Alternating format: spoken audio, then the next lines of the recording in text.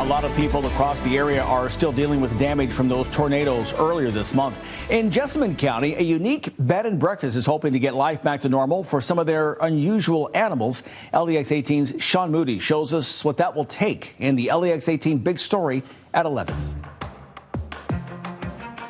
The Creekside Bed and Breakfast is usually the perfect place for some tranquility. It's just the quietness, the, the stillness of it all. Visitors here get to know a family of peacocks. This is Annie, and this is Baby Blueberry. To Tiffany Lowry, they are family. They're funny little characters. Lowry's friends with the owner of the bed and breakfast. Out here on the lawn, Luke runs the place.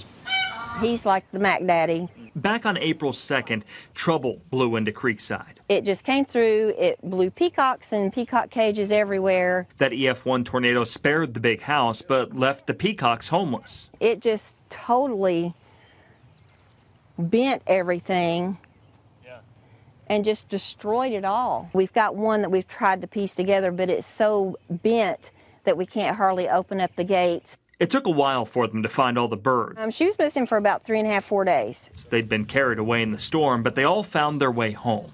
They were in shock.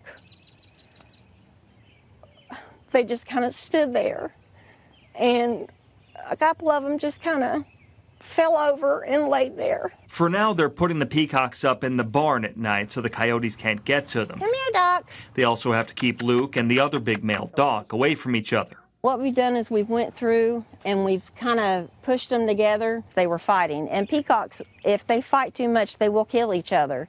Um, over the peahens. They're hoping they can rebuild the peacock enclosures so the birds can get back to normal.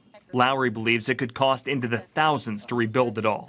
Cages that they did have was around seven grand. She started a GoFundMe account, hoping to raise enough to rebuild, hoping to get back to life before the storm. If anything happened to these peacocks, it, it would be like a death in the family. In Nicholasville, Sean Moody, LEX 18 News.